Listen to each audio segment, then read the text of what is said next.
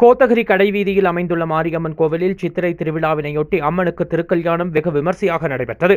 கோத்தகிரி கடைவீதி பகுதியில் அமைந்துள்ள பழமையான மாரியம்மன் கோவிலில் திருவிழா மிகவும் பிரசித்தி பெற்றதாகும் இதனையடுத்து தினந்தோறும் பல்வேறு சமுதாயத்தினரின் உபயத்தில் தொடர்ந்து திருவிழா நடைபெற்று வருகிறது. விழாவின் ஆறாவது நாளான இன்று காலை ஒன்பது மணிக்கு அருள்மிகு பரமேஸ்வரனுக்கும் மாரியம்மனுக்கும் திருக்கல்யாணம் நிகழ்ச்சி நடைபெற்றது. மேலும் கோத்தகிரி மாரியம்மன் துணை கோவிலான கன்னிமாரியம்மன் கோவிலிலும் அம்மன் அழைப்பு வெகு விமர்சையாக நடைபெற்றது. Thank you.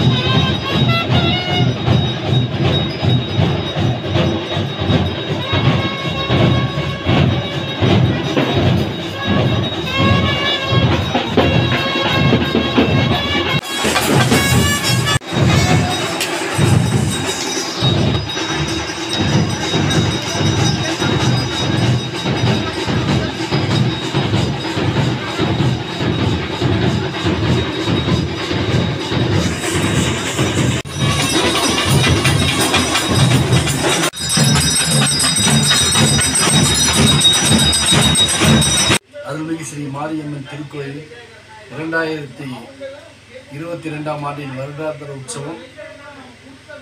பதி உற்சவத்தின் ஐந்தாவது நாள் நிகழ்ச்சியாக இன்று கோத்தகிரி அருள்மிகு ஸ்ரீ மாரியம்மனின் துணை கோயிலான கன்னிமாரியம்மன் கோயிலிலிருந்து அம்மன் அழைப்பு விழா வெகு சிறப்பாக நடைபெற்றது.